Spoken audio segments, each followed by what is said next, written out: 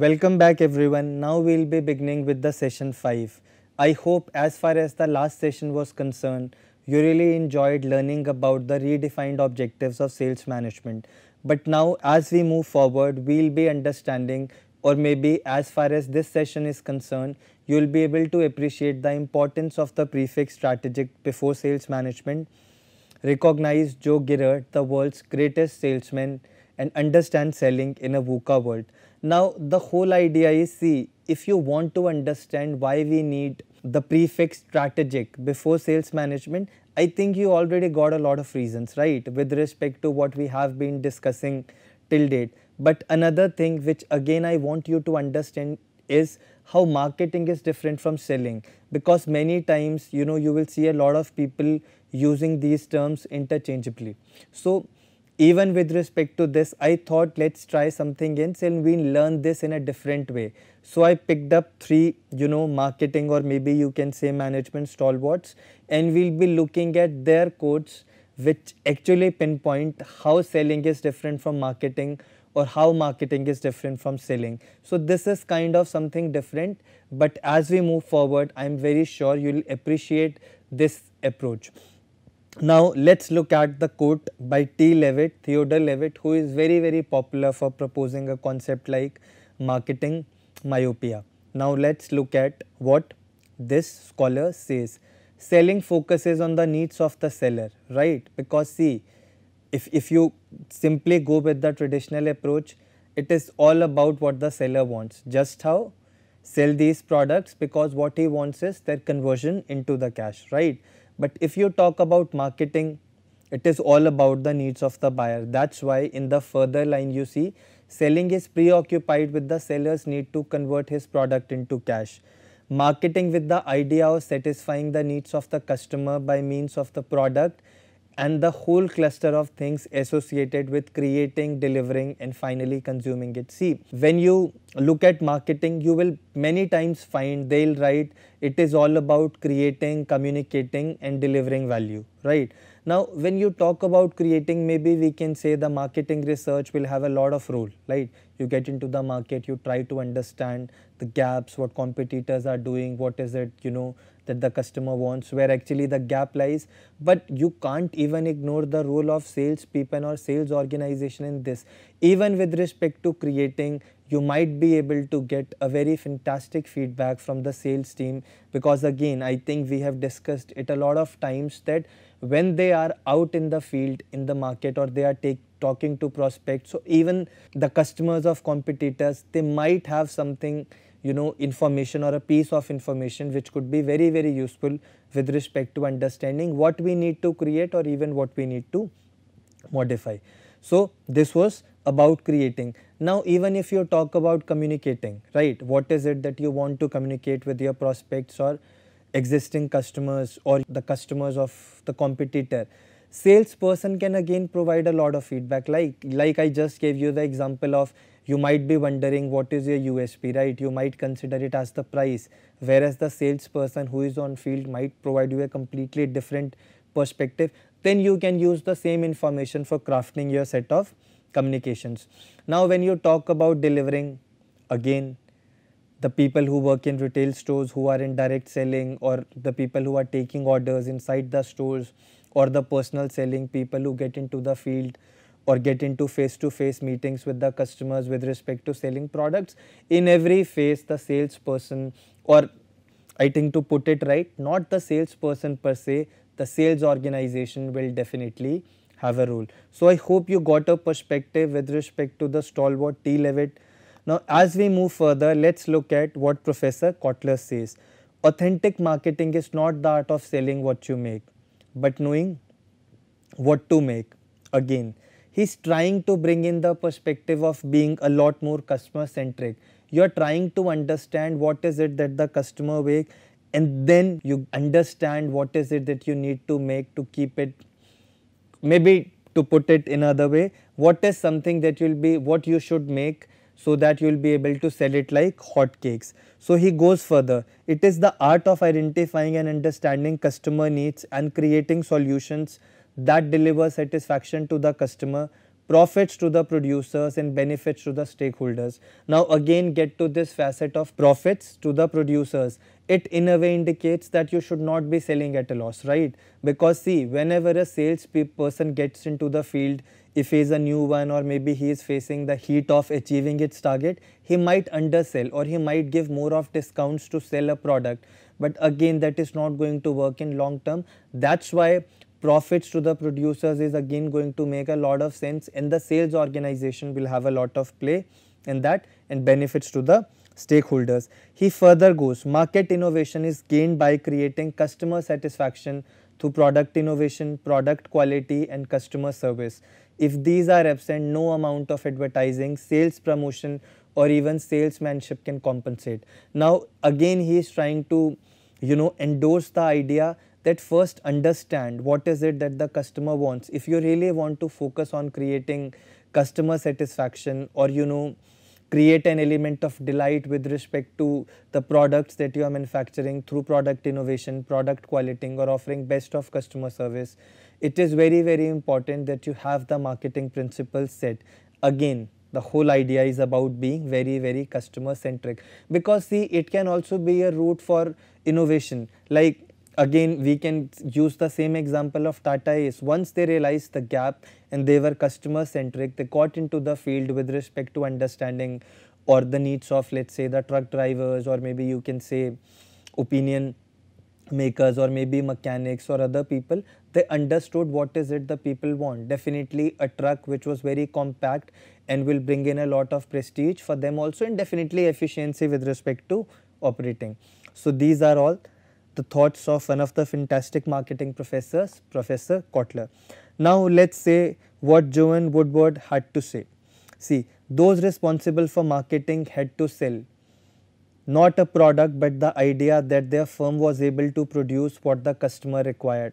Now what the customer requires or what is it that is required by the customers, the salesperson can definitely provide a very good insight. The product was developed after the order had been secured the design being in many cases modified to suit the requirements of the customer. I think the scholar has put it very very beautifully that see the product was developed even after the order was taken and they went ahead and modified.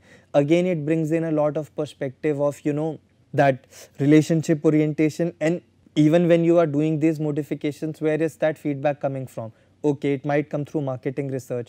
But when you talk about b2b selling or industrial selling it is definitely going to come from the sales people right?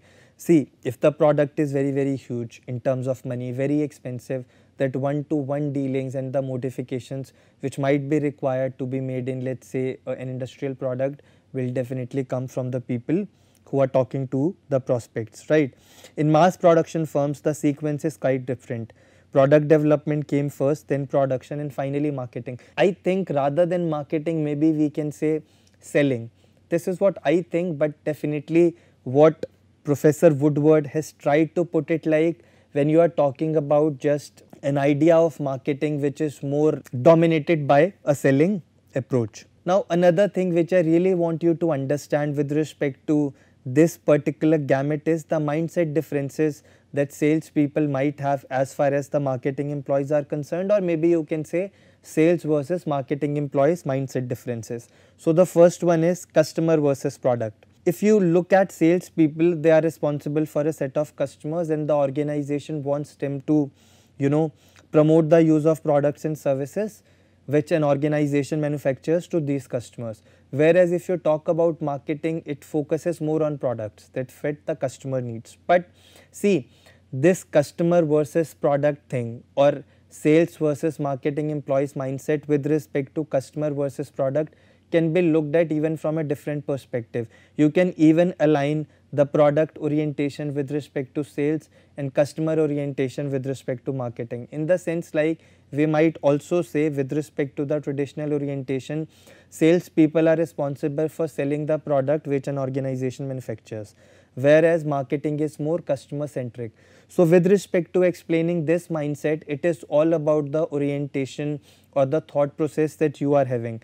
But I have precisely derived it from one of the research papers which I will be telling you in the end as a part of references. Now another mindset difference is personal relationship versus analysis. See, we all know that one of the key facets of sales job is that you are out in the field, you are meeting people on daily basis, you are working towards those relationship with customers.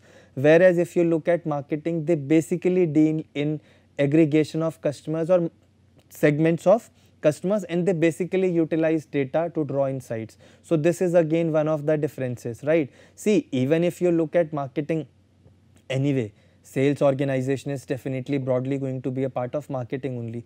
But this is one thing which can be kind of very concretely associated, right? Because you will not find marketing people getting into the field and you know meeting people daily. But that's not the case with sales people.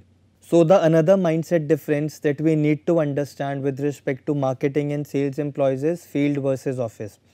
Again, you know that you know sales people, a particular segment of sales people that will be definitely you know understanding what are the different kinds of salesmen work in the field and they you know face the pressure of customer demands coupled with rejections and all that stuff whereas marketing people usually operate from office right Another thing which can be aligned with respect to marketing versus sales is sales is more of a continuous daily activity, right? They have this element of daily reaching out to customers, visiting customers or maybe calling them eh, or, or doing a lot of cold calls. Whereas marketing is more about sporadic projects which means it is more project driven like it could be related to coming up with a new product or maybe taking care of a marketing research activity which could be related to identifying any of the problems like why are sales so low in the southern region or why are sales so low in the northern part or maybe related to how we can kind of modify our product to better suit the needs of the customers or it could be related to crafting sales different sales promotion programs for different segments of customers. So, this is another difference which you need to understand. Apart from that if you look at sales people, it is more result oriented in the sense like they can get quick feedback on the results regarding let's say whether after a demo whether order was placed or not or with respect to how a customer behaves. If we are more looking at their quantitative performance standards or maybe quantitative objectives let's say how many calls have been made, how many visits have been made, but that not the case with marketing. It is more process driven and things may take time. Let's say if you are trying to create an awareness or trying to change the image of the brand or the product, you will be able to only you know notice these differences in medium to long term. But again the crux is with all these digital marketing tools you know coming in things have changed. You can now measure let's say even if you put a post or an organization puts a post on Facebook, Instagram or LinkedIn even with respect to let's say likes, dislikes or on if, if it is on Twitter with respect to retweets you will be able to see you know the buzz that the product or maybe you know whatever you are offering creates. So digital marketing has kind of made it very easy or readily for an organization to measure the results of marketing activities. Now the last thing which you need to understand with respect to this is see now we are talking about it from a traditional approach. Selling is usually short term, you will focus on just closing that day's deal, right? In a way, definitely if you get to the modern aspects of it, you will be focusing on relationships. Whereas marketing definitely has a very long term orientation. It really focuses on making customers their advocates. Advocates means who will be kind of recommending their products or even protecting the products. If they'll, you know, if you are an advocate for a product or you feel very, very emotionally attached with the product, you might not like someone talking bad about it. You might even go ahead and try to change their mindset or you will mm, kind of spread a lot of positive word of mouth. So, marketing is more about creating that brand loyalty. But again, I would say if you talk about the modern selling or you know the contemporary selling approach it kind of you know uh, captures all of these in the strategy that they adopt with respect to when they reach out to customers. So, I hope with respect to what we discussed about you know this difference between marketing and selling and mindset differences, I think now you will definitely be in a position to answer me better why we need the prefix strategic before sales management. This is in line with everything that we have discussed. Salesperson being a consultant, working closely as a collaborator with the prospect or client, with respect to understanding who is profitable, who is not profitable, with respect to having a very, very high focus on a relationship orientation, assisting in marketing activities, assisting in innovation, assisting in creating a very good and huge database of customers which can definitely be utilized for, I would say, drawing very very rich insights. Then again see even if you look at the traditional functions contributing to profitability because you can't deny the fact that sales is the only department which brings in profits. See when you look at other departments, they are precisely cost centers. Even if you look at finance, HR, even the other marketing functions, whether it is advertising, sales promotion, it is only the sales organization that brings in revenue or brings in the required, or maybe we can say converts products into cash. So even with that respect, that micro perspective, we can't deny the fact that it is one of the most strategic roles, right? So when all these factors and how you know it is the high time when we need to understand that the marketing and sales should work in tandem with each other to bring in the best of benefits for an organization. We can't deny that we definitely need the prefix strategic.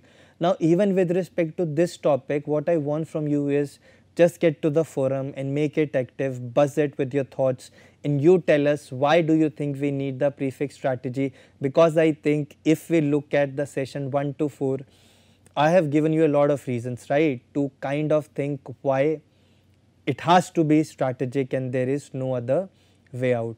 So, I will wait for the time to read what you think, why this is strategic and you know will be more than excited to head to forum to see what you post. So, now I think we get to the another I would say very intriguing part which is what are the trends in selling or maybe you can say sales management. So, first is demos need to sell the problem, show them you truly care. Earlier the case was see whenever the product demonstrations were given to the prospects or customers, it was all about this is what the product does or these are you know the key characteristics or features of the product that is not going to work now. Your focus has to be on solving their problems. That is why I have been repeating it a couple of times. It is very very important if you want to get hold of a key account understand their processes, be their collaborator and try to work towards solving their problems. It is not going to work if you just tell them, oh, these are the features of the product, those days are now completely gone. Focus on telling how this is going to be beneficial for them with respect to solving their problems. Other thing is multi-touch approach. It's not like you call the customer or the prospect, you gave them the presentation, you sold and your job is done even if you look at let us say are providing very good after sales services, your conversations or touch points could be related to that. This is not going to work now. You really need to have to focus on having meaningful interactions, communication, relationship building and problem solving which means that always reach out to your prospects even when they have not brought from you with respect to understanding so these are the new products or ma'am these are the new products that we have. If you bought it from a competitor how do you think that was better? Once the relationship has been strike because the point is see if you come up with an improved version of the product you will be definitely able to pitch it to them or maybe I would say if your product can solve their problem better I think you will be able to do it. Other thing is the hierarchical nature of sales will flatten which means that now this is more in the orbit of a lot of people now working virtually from their homes which definitely indicates that you need to empower them to take the right decisions at right time. You can't have those you know lengthy hierarchical structures in which everything will be approved. Definitely you can have a strategy and policy with respect to this, but with respect to virtual teams you really need to empower them. Other thing is specialization in vertical markets. Now why I am telling you this is or why we are giving you the example of niche markets is see, it is not like you only have to sell a product if you think you will have a large base of prospects. You can even come up with the product for a niche market for with for a very specialized market who could be very small in number, but if they are profitable why not right. So, the whole idea has to be focusing on those customers even if the count or quantity is small they can be profitable. Just imagine the idea of various vegan restaurants that are now being open in India right. they are very niche but just because they are catering to a niche segment they are able to command those prices and they end up being to an extent being profitable. Another trend in selling which again is going to revolutionize the sales dynamics is freemium will kickstart the sales conversation. Now this is all about looking at your customers from two tiers. One is who look for a freemium or maybe the premium ones which means see now this is more working with respect to the services that are being sold. You give them a free account or an access which is free for few days. Now once you make them realize how the product solves the, or the service solves their problems or how it is beneficial for them, there are very high chances that they might switch to a paid form of you know servicing or maybe you can say towards a better version which brings in a lot of revenues or profitability for you. But in this case you have to be smart enough with respect to understanding that when, when you give that freemium period offer them the best that you have so that they realize that this is the product that they definitely need. And in a way see this can also be a conversation starters right? Especially if we look at the market in India this can work. But again this might not work for every product. Now the other part or other trend is about leveraging executive sponsors to close the deals. See this simply means we definitely talk about team selling right? When you have a huge team huge team as in at least 5 6 people rather than one salesman who is dealing with the prospects in this case you might have some experts who might accompany you. Like you might have someone from your organization who is on a position that if required he can take the required decisions with respect to discounts or if anything extra that needs to be offered or with respect to pricing. And from the other organization also from the prospect or customers organization also you have an executive sponsor sponsor as in a representative who will negotiate on their behalf. At least when you have two parties or two key people who are kind of negotiating or striking a deal i think things can be done on the same day. Rather than you have someone who will say i'll get back to you. Another thing is again collaborative sales culture will be a top priority which means that sales should not be looked at just and you know the last part of the tail who is selling the products. They need to be aligned very much with production department definitely with various facets of marketing and also with other department. I would even say HR department because when they are designing training programs for them, they should know what is it that really need to be imparted. Emergence of social selling is again one of the trends that we have discussed. Team based selling, I have already given you a perspective. Sales automation, which again can be a two-edged sword. You really need to figure out, you know, what is it that we can automate so that we don't end up losing that physical touch. But see, one of the advantages when you talk about sales automation is let's say earlier if you are trying to identify prospects, it can be a huge and daunting task. You need to do a lot of homework, do a research, collect a lot of information about the prospect. But now even LinkedIn offers you a very, very specialized service in which you can have a checklist, okay my prospect would be someone who will have this much of turnover or this much of income. He has to be in this much age group. He, he might have this much habits or things like that and they will provide you a list of the prospects which could be very very convertible for you. Your focus has to be on value selling. Value selling here simply means you need to provide the products in which you are not compromising on quality and you are trying to bring down the prices. These definitely can be star sellers for an organization. Another important trend don't just rely on customer support. Don't wait that if something goes wrong, we have a team who will be taking care of you. Create an experience in such a way that everything looks very, very delightful for the prospect or maybe existing customer and they are willing to, you know, walk that extra mile with you or have that long term association with you. So, the whole idea of this particular part is don't just have a customer support system create experiences that make a long lasting impact in which again you get that extra edge of cross selling and upselling.